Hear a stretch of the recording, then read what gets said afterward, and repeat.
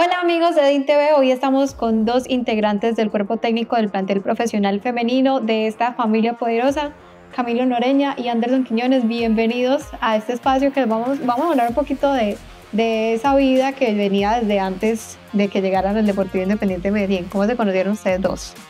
Muchas gracias. Bueno, nos conocimos en la Universidad de Antioquia, estudiando el pregrado de entrenamiento deportivo.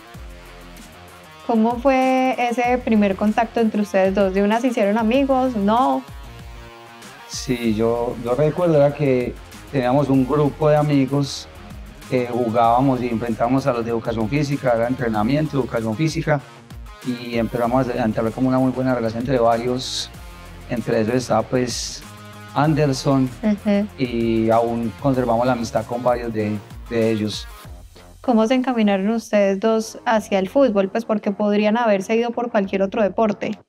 ¿Por qué fútbol y no otro? Bueno, pues en mi caso, pues porque de niño lo practiqué. De niño lo, lo jugué. Eh, el ejemplo pues en mi casa con mis tíos, mi papá. Y tengo una familia muy futbolera. Entonces, pues pensé solo en la vida, en hacer algo relacionado al fútbol. La verdad intenté jugar, pero fui un jugador frustrado pues porque no voy a nivel profesional. Creo que lo hacía bien, pero no fue lo suficientemente bueno mi recorrido pues, como para llegar pues, a donde quería. Y a raíz de eso, pues un día yo jugaba en la primera vez la Liga Antioqueña y mi amigo que me pusiera las pilas de estudiar. Yo compré el PIN pues como por darle gusto a ella y tuve la fortuna de que pasé. Y empezando la carrera, un, maestro que le agradezco mucho en la vida, el doctor Gustavo Ramón Suárez, yo me acuerdo que la inducción él dijo que no nos queda tiempo para estudiar y jugar, o jugábamos o estudiábamos.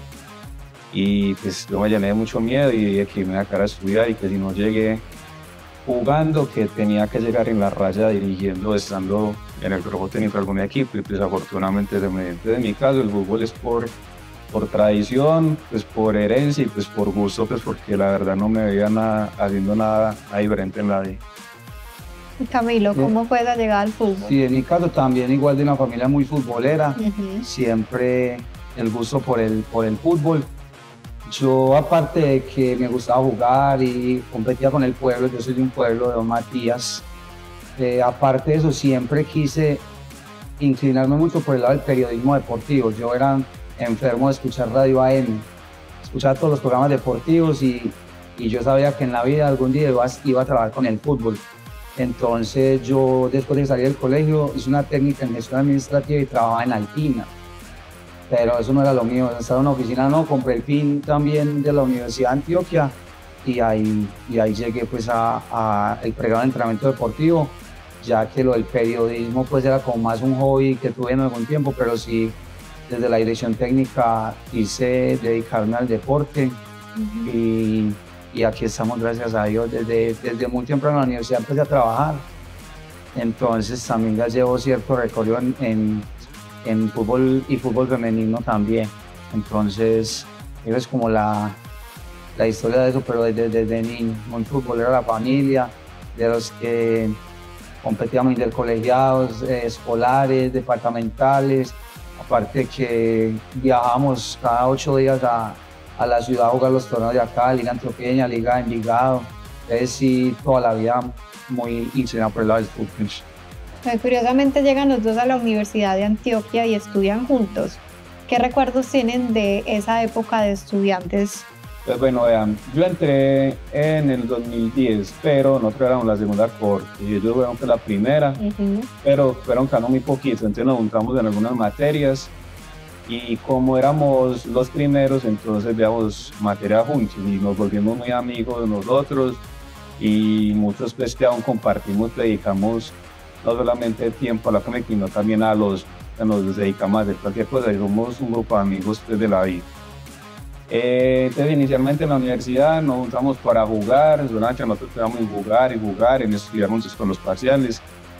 Y fue una época muy pues, difícil pues, de estudiante, pero muy bonita. Pues, por ejemplo, en ese tiempo uno se daba en la segunda terminal, en la estación Caribe, la terminal del norte, y tenía dos opciones. O se subía en un colectivo que valía mil pesos o dos mil, ¿cuánto? Mil, mil, mil. Valía mil cuando es. Sí, en 2010 pues iba caminando. Ya nosotros muchas veces nos íbamos caminando para poder tomarnos algo o comernos algo o, apostar en el apuntado. Y nos tocaba volvernos caminando. Entonces eso es lo que más recordamos porque no éramos solo nosotros, éramos varios. Pues. Entonces, eh, pues yo en ese momento, pues uno sí, sí le toca desbordarse mucho, pues, pero ahorita uno se acuerda y se ríe porque, por ejemplo, era en el parche siempre de una universidad allá afuera y yo me acuerdo que bajábamos al mediodía a empezar a tomar cerveza y a bailar y a jugar cartas. Y la cerveza nos acaba a las 3 de la tarde.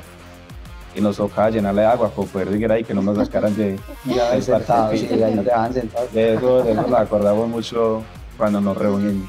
El profe Camilo, ¿de qué se acuerda de, de ese tipo? No, lo que pasa es que es, es imposible recordar las caminadas, las caminadas en ese sol que nos tocaba, salíamos a veces contentos, a veces rajando de algún profesor porque el parcial que estaba muy duro, que era muy, muy bacano porque teníamos el tiempo de compartir ya por fuera de lo académico en esa caminadita hasta, y también que eran muchas las caminadas, muchas, muchas.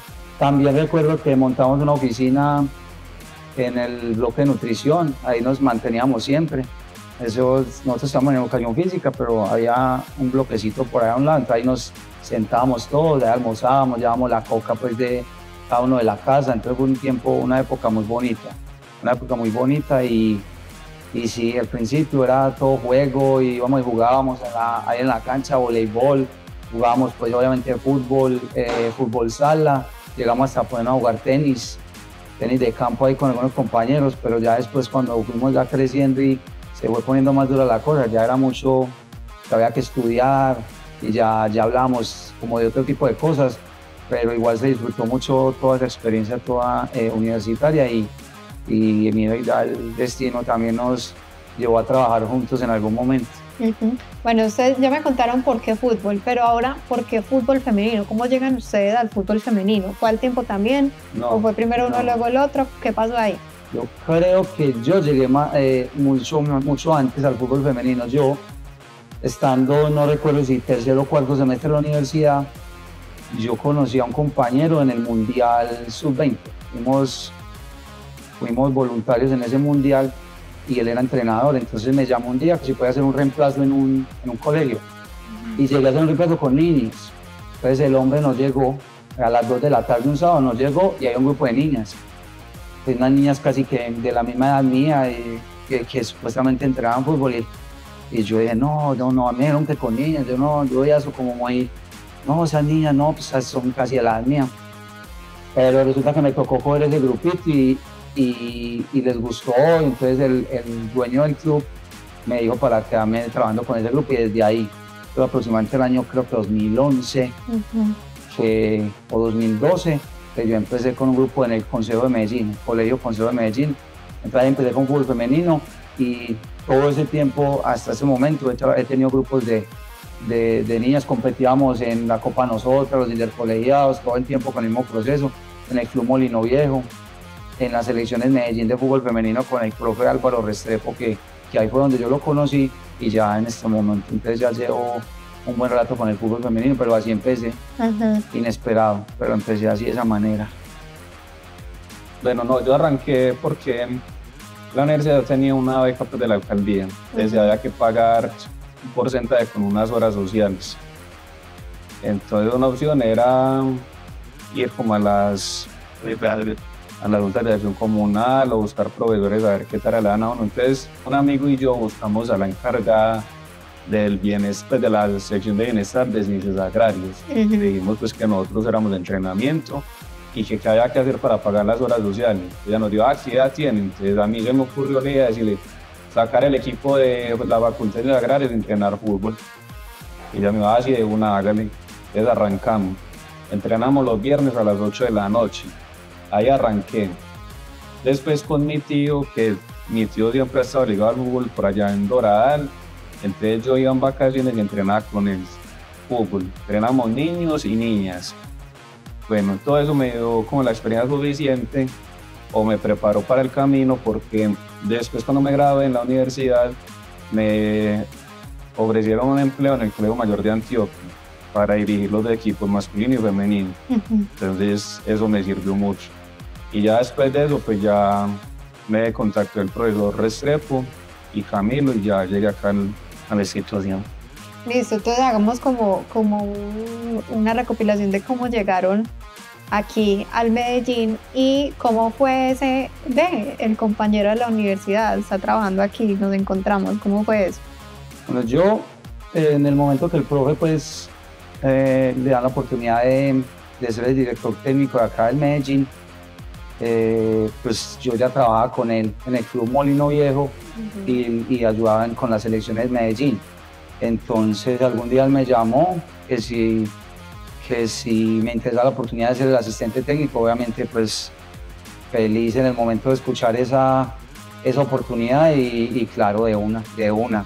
Entonces eh, eh, pudimos estar desde, desde que el profe está, ¿cierto? Ya después con, con, con Anderson, pues obviamente yo a él ya lo conocía y sé lo buen trabajador que después lo buen preparador físico.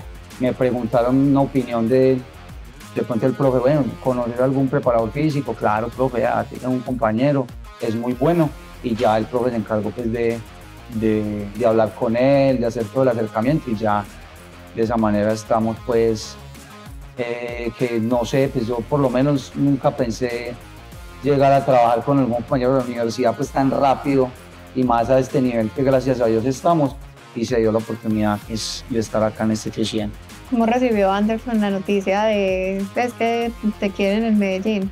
Fue, fue sorpresivo, muy sorpresivo porque yo lo seguía pues a ellos pues porque estaba él y pues porque era en Medellín, entonces estaba muy pendiente del equipo. Y bueno, quizás suene pues como, como, muy bonito, muy idílico, pero yo siempre le decía a mi esposa que yo iba a arrancar trabajando en Medellín. Y ella me decía que porque le decía, no, no sé, yo quiero traer en Medellín y voy para Medellín y en cada lugar que yo estaba, yo llegaba casi que despidiendo. Yo decía, yo llego acá, pero ya en esto me voy. ¿Cuándo te vas? Yo no, yo para Medellín, pero nunca tenía nada en Medellín. A nadie, no conocía a nadie. Cuando el profesor Álvaro me llamó y me propone pues, que si me gustaría, pues yo le dije lo mismo que, claro, pues sí que hacer, sí. Y antes arranqué todo el proceso con mucha ilusión, pero también la verdad con mucho temor. Porque es Medellín, porque es fútbol profesional, porque las niñas son muy buenas lo, lo recibí con mucha emoción, mucho agrado, pero también eso me implica como una presión día a día de demostrar por qué querían traerme acá al equipo. Pero inicialmente fue mucha alegría. Bueno, ya para ir cerrando, ¿qué significa para ustedes el estar en el cuerpo técnico del equipo femenino del Deportivo Independiente Medellín? No, para mí es un sueño. Es un sueño porque todos en algún momento que nos gustó el fútbol, siempre quisimos llegar al fútbol profesional. Sé que en cualquier de jugador, de entrenador, de preparador físico, de cualquier, de cualquier cosa, pero estar ahí y hacerlo con mucha responsabilidad, no solo llegar, tratar de uno llegar y, y poderse mantener. Entonces es un sueño alcanzado estar en una institución tan grande, una institución que uno desde pequeñito, yo por ejemplo soy uno que siempre he sido muy de uniformes y yo, yo tener puesto un uniforme de estos para mí significa mucho y yo sé que para mi familia también. Entonces para mí es un sueño alcanzado y espero poderme mantener mucho tiempo y ya no ser inferior a, esta gran oportunidad que la vida eh, me brindó. Entonces ese es un sueño.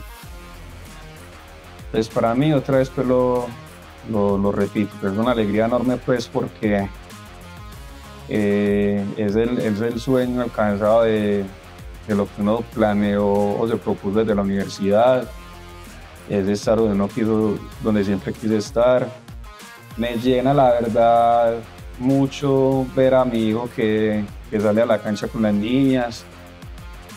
Me enorgullece demasiado que mi mamá se sienta contenta, de verme acá, de que mi papá también sea feliz viéndome con esta camisa, de que mi abuelo pues, se sienta muy orgulloso de su nieto. Y en realidad pues es, muy gratificante pues porque primero es un sueño que uno tenía desde, desde hace muchos años y segundo, es una responsabilidad muy grande porque esta institución es muy grande y porque hay mucha gente detrás de nosotros que quisiera estar acá primero y segundo, pues que nos sigue y espera que demos lo mejor por esa institución. Entonces, para mí es un, es un sueño hecho realidad y pues la verdad es muy, muy, muy bonito. ¿Cómo es la relación de ustedes con las jugadoras?